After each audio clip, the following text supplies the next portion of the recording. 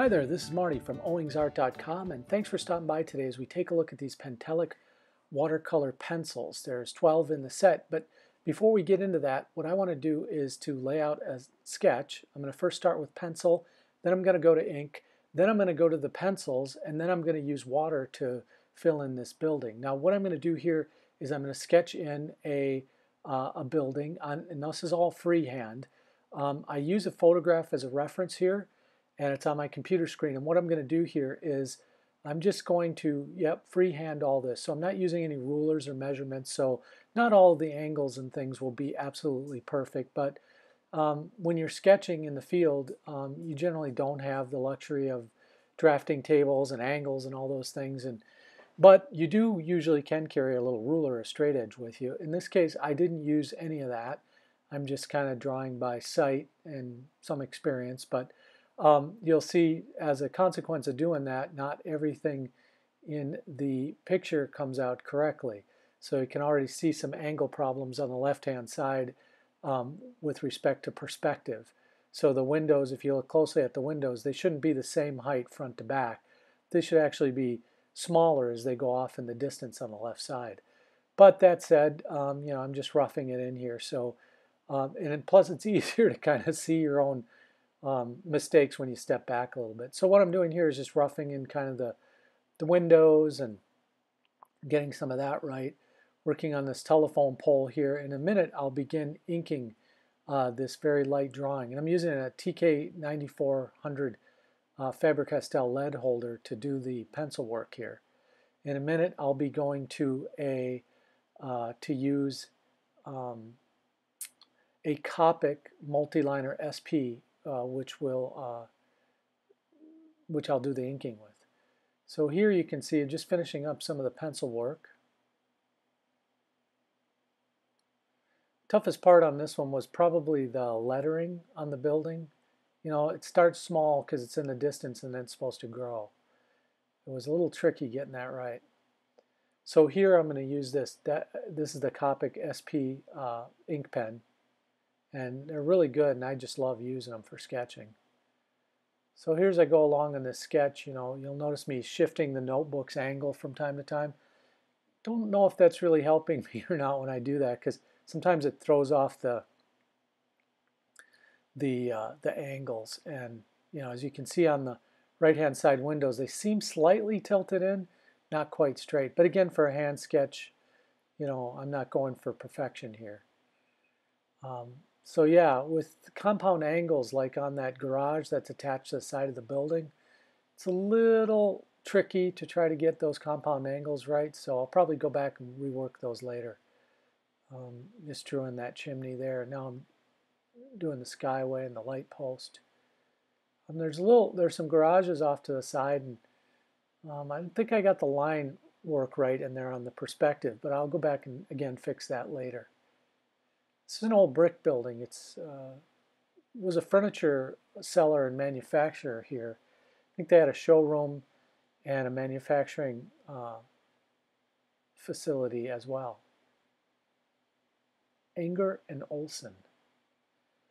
So here, when I go in and do the ink work, I may not follow the pencil lines exactly, but generally they're there as a guide.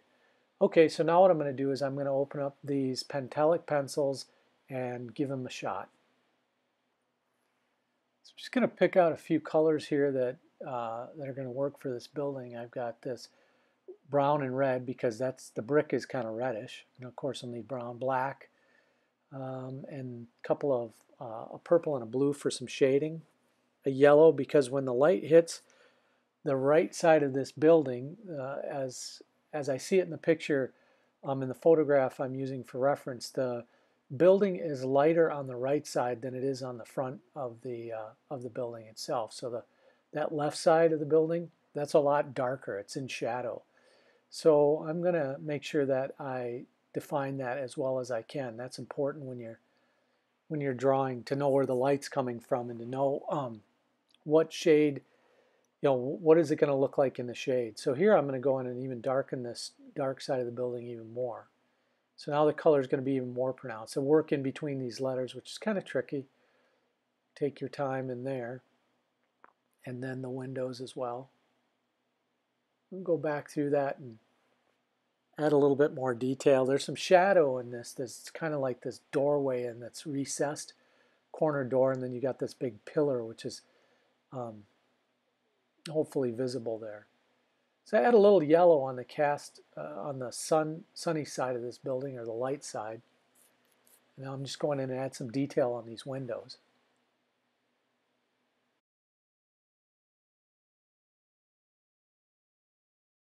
Okay, so what I can see here as I step back from this drawing a little bit is some of my angles are a little janky. It doesn't help that I have this turn, but I'm going to use this water pencil to kind of fill in where I've, I've drawn. And on the light side, you, won't, it's not so pronounced, but when I get to the darker side of the building, you'll see more of the of how this pencil blends into, uh, turns into watercolor. Um, I'll fix some of the angle issues on this building to the extent I can, but again, like, you know, not a big deal, right? It's a freehand sketch. So part of the lesson you learn when you're watercolor, when you're sketching in general, any kind of sketching is, you know, learn a lesson, take, take something away from each sketch you do. It doesn't have to be perfect. Um, it's just your representation of it anyway. So, but what I do like to do is I, I do like to learn from my mistakes. So I can see here I've got several, especially that the windows uh, should be getting larger, you know, as they go to the right. And I didn't really do that as well as I should have. And then that garage, that word garage on the left side, that's kind of janky. And uh, and as well the garage on the on the right. So some of the angles aren't quite right. And and it, and if you don't have those right, the viewer, the person who's perceiving it, they'll they'll pick up on that. The human eye gets it, and it, it's kind of uh, disconcerting to the human eye, and therefore it doesn't look right.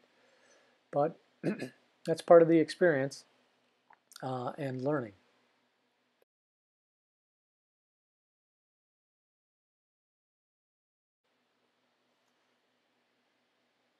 So the next thing I'm going to do here is I'm going to use some of the different colors in this set and just kind of lay them out here and then apply some watercolor and I'll do some mixing here. I'd like to see how these blend. But again, using this water pen, just kind of trying out these different colors. You know, they're, they're not bad. I mean, these are made in Taiwan. They're very inexpensive. This 12 color set was about seven bucks. Um, so, uh, you know, that's not, not going to break the bank for most folks. Yeah, you know, and they blend just okay. They're, they're fine. I'm going to try to get a little orange here with the red and the yellow. See how that works. Yeah, not bad. Yeah, all in all, these are okay. I mean, they're they're fine, um, and they are what they are. They're not expensive. They're very, as a matter of fact, inexpensive. So, um, if you want to use these for, you know, just light sketching or schoolwork or, you know, kids projects, they'd be great for that. Um, I wouldn't probably try these out for anything that you want to keep archivally or any, any uh, you know, your great work. But, you know, they're okay, not bad all in all. So here's a list of some things um, about these Pentalics that you might want to know. So you get 12 of them in this tin. Again, they're made in Taiwan. They're good for casual sketching, but probably not more than that. They mix and blend well. They're six-sided. They layer decently, and they sell for about $6.99 at Hobby Lobby. Well, that's about it for today. Thanks for dropping by the channel. Please leave a thumbs up and subscribe if you haven't already. This is just a picture of the tools I used today. All right, well, thanks again, and so long for now. See you later, everybody. Bye-bye.